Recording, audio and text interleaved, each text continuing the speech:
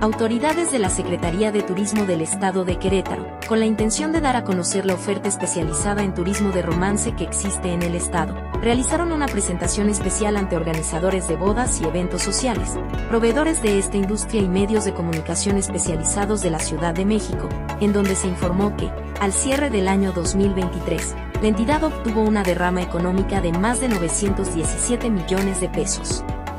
Esto fue generado por la visita de personas que asistieron a bodas o eventos sociales. 84% de estos visitantes son de origen foráneo y representa cada uno de ellos un gasto promedio de 3.800 pesos.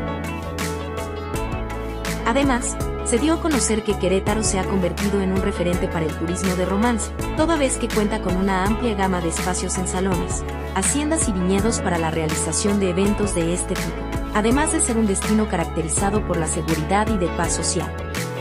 Dentro de este encuentro, autoridades turísticas del estado dieron a conocer que durante las próximas semanas Querétaro realizará presentaciones destino en diversas ciudades del país, entre ellas Monterrey, Guadalajara, Puebla, León y la Ciudad de México, con el objetivo de fortalecer la promoción del turismo de romance de la entidad.